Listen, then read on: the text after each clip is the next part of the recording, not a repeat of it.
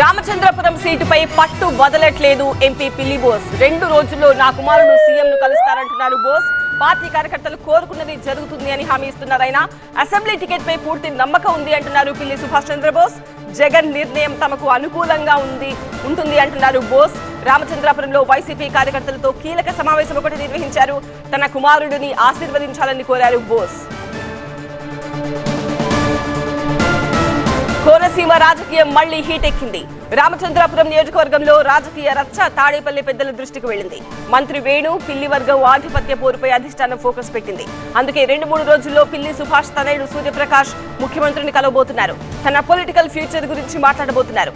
ఇన్నాళ్ళు మంత్రి వేణు పిల్లి వర్గాలు ఆత్మీయ సమ్మేళనాలు నిర్వహించాయి. ఇప్పుడు మళ్ళీ మీటింగ్స్తో హీట్ పెంచాయి. ఇదే ఇప్పుడు కోనసీమలో హాట్ టాపిక్.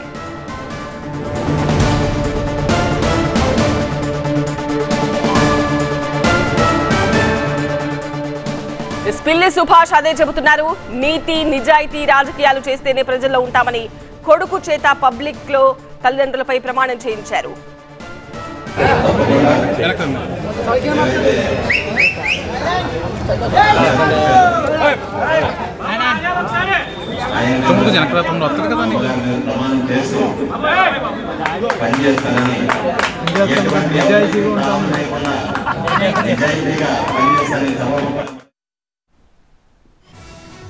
రామచంద్రాపురంలో వైసీపీ కార్యకర్తల సమావేశం నిర్వహించిన ఎంపీ పిల్లి బోస్ తనయుడు అరంగేట్రం కోసం చాలా శ్రమ పడుతున్నారు తాను ముఖ్యమంత్రిని కలిసి నియోజకవర్గంలో ఏం జరుగుతుందో చెప్పానన్నారు.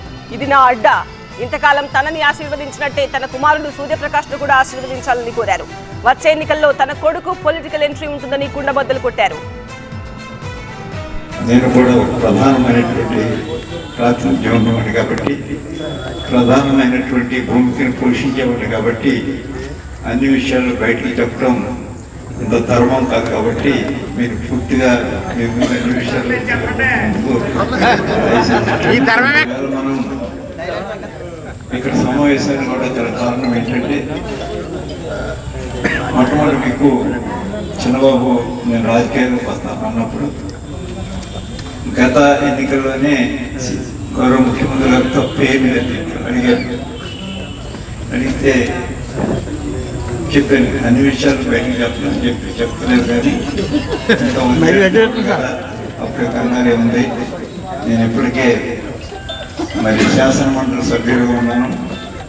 నేను మళ్ళీ మా కుటుంబం తరఫున ధర్మం కనుకుంటున్నానంటే అని చెప్పాను. ఆలోచించామా నాకు అలా చూద్దామండి. అని చెప్తే సరే అన్నాడు. ఆయన సరే అని ఏమన్నా తీసుకొచ్చి తప్పు చేసాము? మీరు నమ్మారు నేను నమ్మాను.